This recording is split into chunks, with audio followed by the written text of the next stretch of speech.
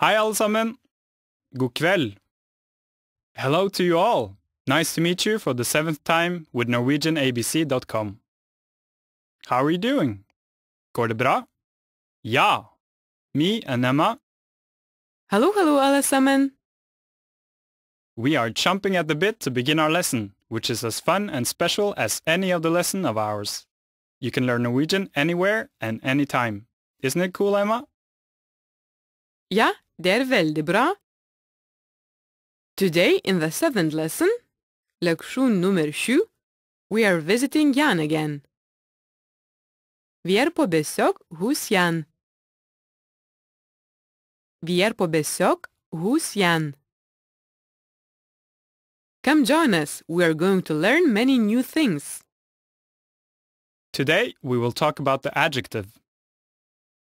Adjektiv in Norwegian. An adjective is a part of language marking a peculiarity and answering the question, what is something like? Let's say, he is cheerful, she's beautiful, they are angry. In Norwegian, an adjective is combined with a noun. It says what that thing or a person, animal is like. We will learn to compare them in our future lessons, but that will be later. Now let's learn some of the most popular adjectives. Good, tasty, god, God. God. gentle, kind, good, right, fin, Fin. Fin. bad, poor, worthless, dårlig, Dårlig. Dårlig. handsome, beautiful, vakker, Vakker. Vakker. hard, tough, vanskelig, Vanskelig. Vanskelig.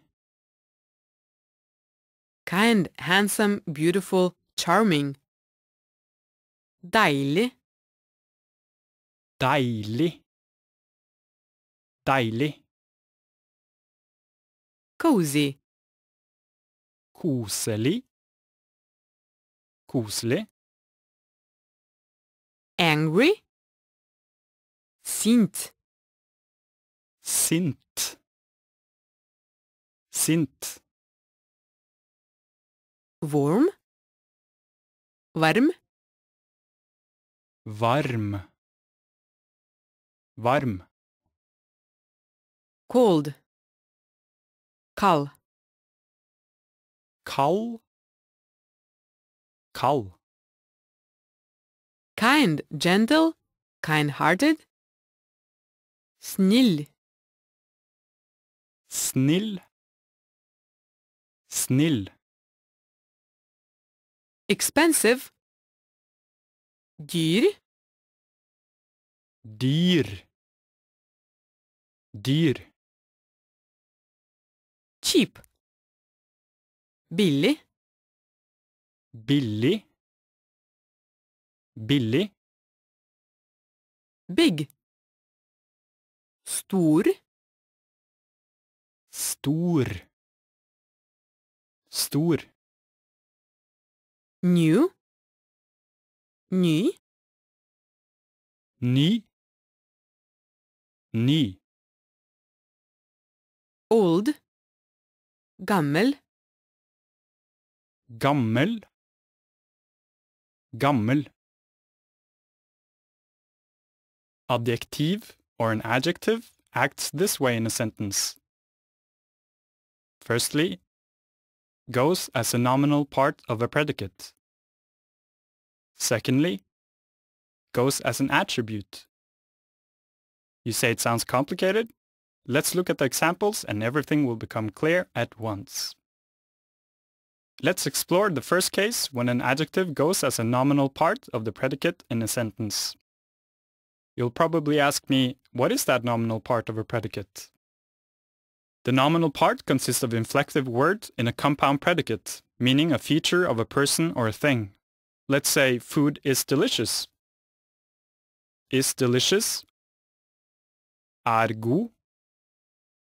The word god certainly has several meanings. Kind, precious. In this case, delicious. Maten er god. If a noun, which we combine with an adjective, is of feminine or masculine gender, we use the common form we can see in the vocabulary. For instance, maten er god. An adjective is combined to a noun with the verb å være or å bli, as in the sentence we've mentioned already. Maten er god. Er is a present tense of the verb å være. Maten er god. Lise er vakker. Lise is pretty. Er vakker. Lise er vakker. Jan er sint. Jan is angry. Er sint. Jan er sint. Well, yes, Jan is angry because Lisa didn't come tonight. So the name Lisa is of feminine gender and Jan of masculine gender. And if an adjective is combined with a noun of neuter gender, we will add the ending t to the main adjective form. For instance, a noun of neuter gender, hus. How do we say? The house is big. Huset er stort. Huset is a marking form of a noun et hus. We'll talk about it soon. Huset er stort. Here's an example. Jeg må tenke litt um, Ja. Eplet er modent. Eplet er modent. The apple is ripe. A form of an adjective in neuter gender can be used as an adverb also. That is, answering the question how. For instance, Lise synger pent. Lisa sings nicely. Pen. Nice. Pent. Nicely. Lise synger veldig pent. Lise synger veldig pent. Now, let's talk about how we're going to use an adverb in plural. When making plurals, you need to add the ending e to all the genders of an adjective. For instance, god, gode. Vi er gode. God. He, she is good. Gode. They are good.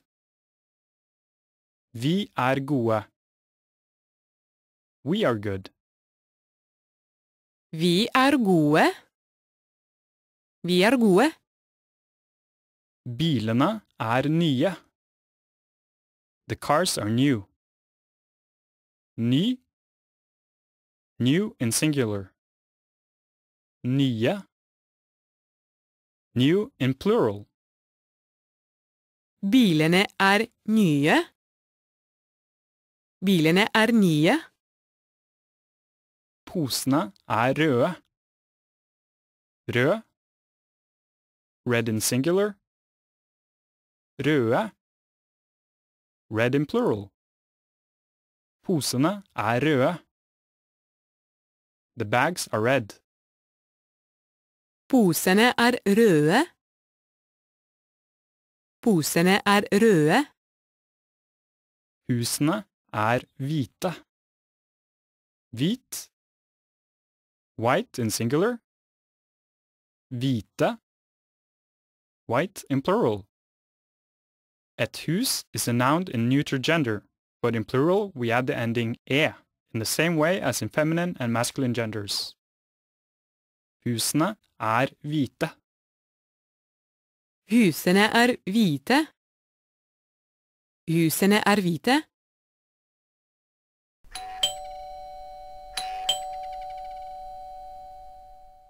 Oh, the doorbell is ringing. Hei, god kveld, kom inn. Emma, Lise er her.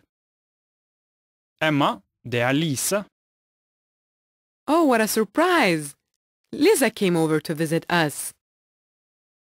Hei, Lise. Hyggelig å hilse på deg. Jeg heter Emma. Hei, Emma. Det er hyggelig å treffes. Unnskyld meg. Jeg kommer for sent. Lisa is sorry that she came too late. She says, Unnskyld meg. Forgive me. Sorry. You can also say sorry this way. Unnskyld. Unnskyld. Jeg kommer for sent. I'm coming too late. Nei, det går bra. Everything is fine. Det går bra. Er du sulten, Lise? Are you hungry, Lise? Vil du ha noe å spise? Would you like something to eat? Ja ja, Lise, er du sulten? Vil du ha noe å spise? Ja, jeg er sulten. Jeg vil gjerne ha noe å spise. Åh, det er et fint hus! Jan, det lukter godt. Hmm. Takk, Lise. You probably understood. Lisa said that the house is nice. Det er et fint hus. An adjective in the sentence is used as an attribute in this case. We'll talk about it soon. Besides, as you remember, today we have been talking about a case when a form of an adjective in neuter gender can be used as an adverb. That is answering the question how. For instance, as Lisa has just said, Det lukter godt. Å lukte. To smell. God, an adjective meaning good. Det lukter godt. It smells nice. How does it smell? Nice. Godt. And how do we say it smells awful? Det lukter vondt. Det lukter vondt. Oh yes, it smells delicious in our house. Det lukter godt. Lisa smells the meat I've roasted. It's good that there's a bit of meat left, so I'm inviting the guests to taste it. We will continue this lesson about adjectives, okay? Let's study the second variation of adjective usage when it goes as an attribute in a sentence. For instance, Det er ei gammel dør. It is an old door. An attribute is a part of a sentence marking a feature of a thing. As we can see, we say an adjective between the indefinite or definite article of a noun and the noun ei gammel dør. Det er ei gammel dør. And how can we combine an adjective and a noun? Simply the same way as in the first case. If an adjective is combined with a noun of feminine or masculine gender, its main form, as it is shown in the vocabulary, will stay. For instance, ei gammel dør, old door, en gammel mann, an old man. And when combining an adjective with a noun of neuter gender, we can just add the ending t. Et gammelt bilde. An old picture. Et gammelt dikt. An old poem. I'll give you more examples of when an adjective is combined with a noun of feminine or masculine gender, not changing the adjective form. De har en grønn bil. They have a green car. De har en grønn bil. De har en grønn bil. Jan synger en norsk sang. Jan is singing a Norwegian song. Jan synger en norsk sang. Jan synger en norsk sang. Let's repeat a case with a noun of neuter gender. Let's say we have ett hus. Do you remember what did Lisa recently say after coming to us today? Det är ett fint hus. It's a nice house. Since it uses a noun in a neuter gender, we add t to the main form of the adjective fin. Fint. This way, right? Bra! Nice work! Det er et fint hus. Det er et fint hus. Let's listen to more examples and repeat. Vi kjøper et gult bord. We are buying a yellow table. Vi kjøper et gult bord. Vi kjøper et gult bord. Det er et fint sted. It is a nice place. Det er et fint sted. Det er et fint sted. Hun spiser et rødt eple. She's eating a red apple. Hun spiser et rødt eple. Hun spiser et rødt eple. By the way, students, we usually talk big about you in this way. Fint. Think, what is this? And yes, the adjective fin plus the ending t. Fint. The form of neuter gender is used as an adverb, which answers the question how. Fint? Right. Let's go back to the adjective. Adjektiv. In plural, when an adjective goes as an attribute in a sentence, there's no need to use an article. We just add the ending e to the main form of an adjective. For instance, single, et stort eple. Plural, store epler. Vi kjøper store epler. We buy big apples. Vi kjøper store epler. Vi kjøper store epler. Lise synger italienske sanger. Lisa sings Italian songs. Lise synger italienske sanger. Lise synger italienske sanger. Let's relax and sum it up. If a noun is a feminine or masculine gender, we leave the same form of an adjective as it is in the vocabulary. If it is of neuter gender, we add t. If it's plural, we add e. Simple. Enkelt. Enkelt. Let's learn several exceptions in making adjectives. First, if an adjective has the ending ig or esk, and there is a noun of neuter gender, the ending will remain the same in this case, ig, sk. For instance, a cheap picture will be et billig bilde. We don't say et billigt bilde. We say et billig bilde. Another example, et vanskelig spørsmål. Et spørsmål, a noun of neuter gender meaning question. Vanskelig, an adjective, difficult. According to the common rule, we should add the ending t to the adjective. But we are smart already, and we know if an adjective has the ending ig, there's no need to do this. We don't say et vanskeligt spørsmål. The correct way is this. Et vanskelig spørsmål. Et vanskelig spørsmål. So, if there is an adjective with the ending sk, let's say praktisk, practical. We won't add the ending t to a noun of neuter gender. For instance, Han har et praktisk spørsmål. He has a practical question. We don't say et praktiskt spørsmål. We say et praktisk spørsmål. Here are some more examples where when combining an adjective, with a noun of neuter gender, we won't add the ending t to it. There are many adjectives related to nationality.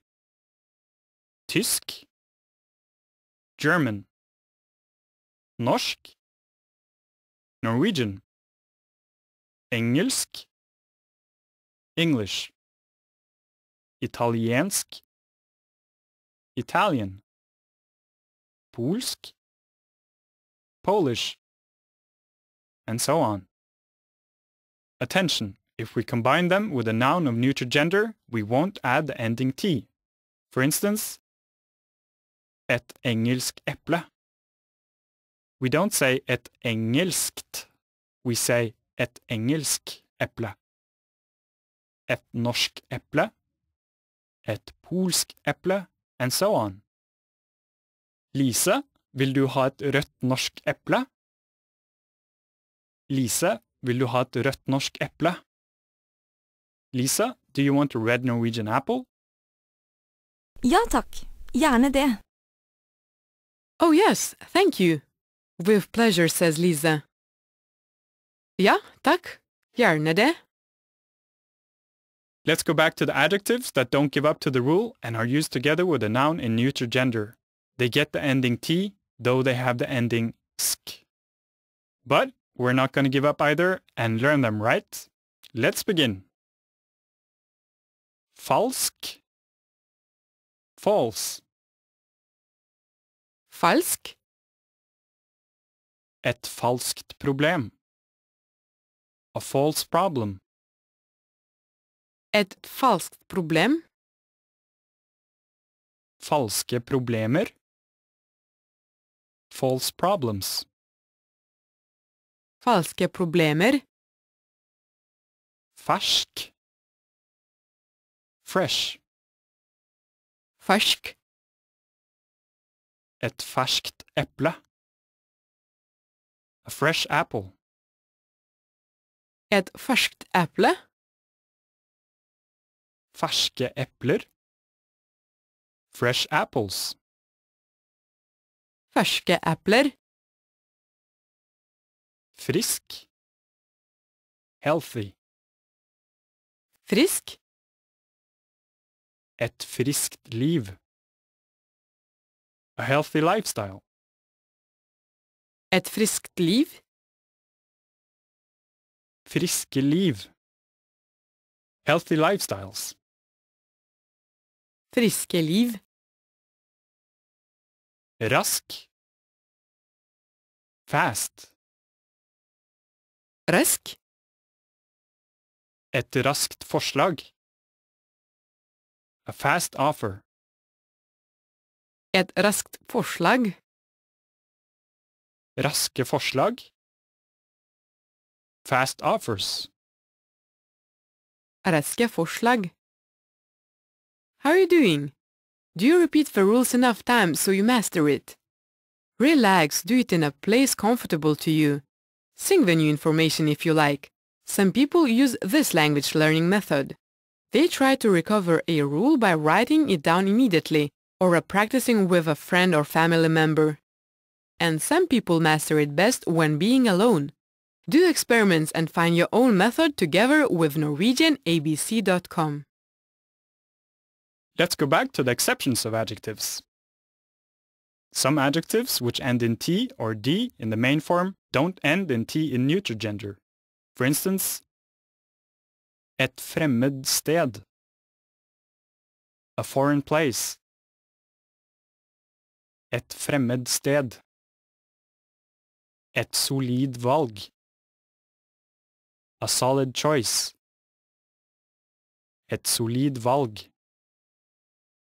If an adjective ends with a double consonant, for instance, stig, disgusting, the consonant in neuter gender is usually made single before the suffix t. Stig, nasty, stig, et stygt sted, a nasty place, et stygt sted, stygge steder, nasty places, stygge steder. grønn, green, grønn. Et grønt eple, a green apple. Et grønt eple, grønne epler, green apples. Grønne epler, If an adjective ends in M, for instance dum, stupid, this M will usually be doubled before the ending E, if a vowel before M is pronounced briefly. Dum, stupid, dum. Et dumt spørsmål. A stupid question. Et dumt spørsmål. Dumme spørsmål. Stupid questions. Dumme spørsmål. langsom, long. Langsom. Et langsomt farvel. A long farewell. Et langsomt farvel. Langsomme farvel. Long farewells. Langsomme farvel. Another exception, adjectives which end in l, en, or er don't have unstressed e in their weakest form. For instance, En sulten gutt. A hungry boy. En sulten gutt. Sultne gutter. Hungry boys. Sultne gutter. et gammelt hus. An old house. Et gammelt hus. Gamle hus. Old houses. Gamle hus. En sliten maler. A tired painter. En sliten maler. Slitne malere. Tired painters. Slitne malere. Et vakkert barn. A beautiful child. Et vakkert barn. Vakre barn. Beautiful children. Vakre barn. Let's take a short break between exceptions. There are some breaks at school too, right? We'll tell an interesting fact about Norway in each of them. Want it? Yeah. We'll call such breaks Fakta om Norge. Facts about Norway. Attention! Did you notice that the word facts sounds a bit different in plural? We don't add the ending ar here. A fact et factum? Facts. Fakta. Et factum? Fakta. Okay, so here's the first message of Fakta om Norge. We talked about food more or less in our recent lessons. And so, do you know what Norwegians like? They are frozen pizza lovers. As the statistics say, Norwegians usually eat 20 million frozen pizzas per year. And the absolute favorite here is pizza grandiosa. But our break has just ended, so let's go back to the exceptions of adjectives. When an adjective in its basic form ends in a stressed vowel, we add double T in its neuter gender, and the vowel gets shorter in pronunciation.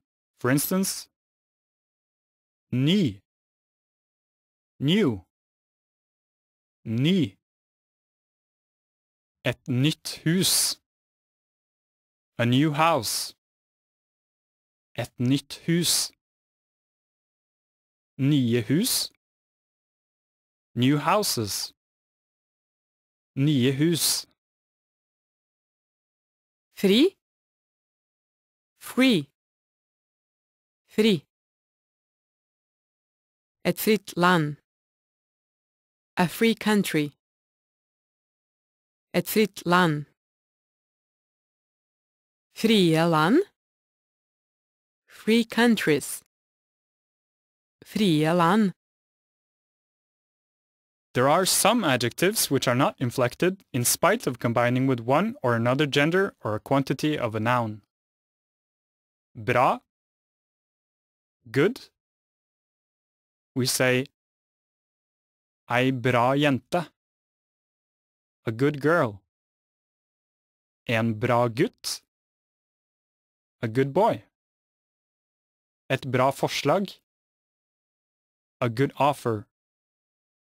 Bra bøker. Good books. Bra hus.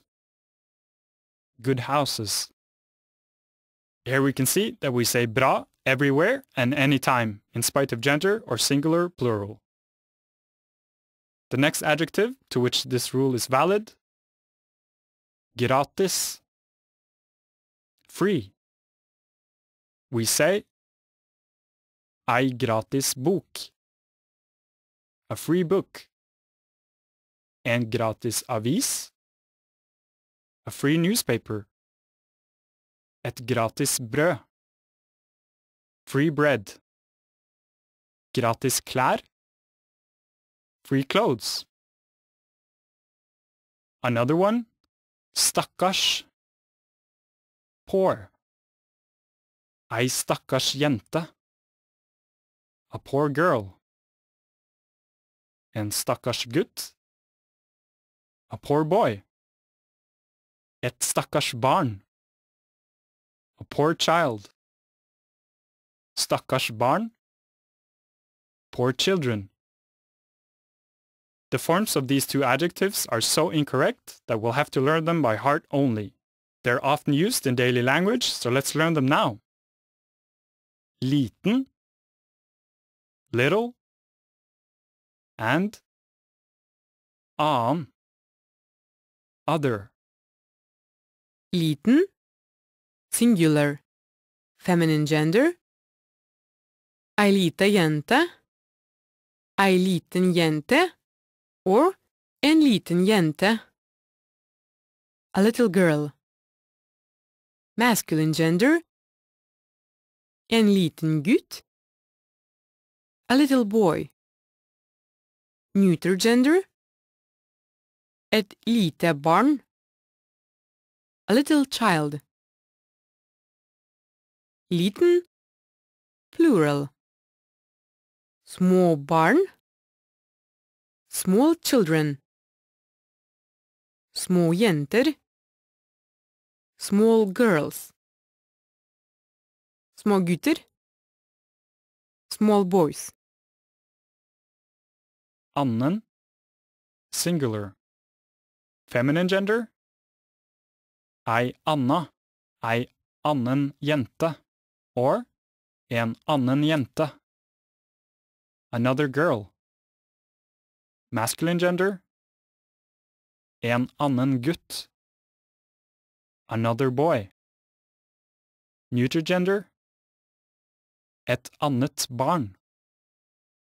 Another child. Annen, plural. Andre barn. Other children. Andre jenter. Other girls. Andre gutter. Other boys. I'm sure that your heads are spinning already. Don't get nervous. There seem to be many rules in this lesson, but everything gets simple after adjusting them to the language. An adjective is a part of language which is used in expressing an opinion, impression, or evaluation. So just listen how Jan and Lisa are chattering. There are many adjectives in their conversation. Lisa, er du mett? Lisa, are you full?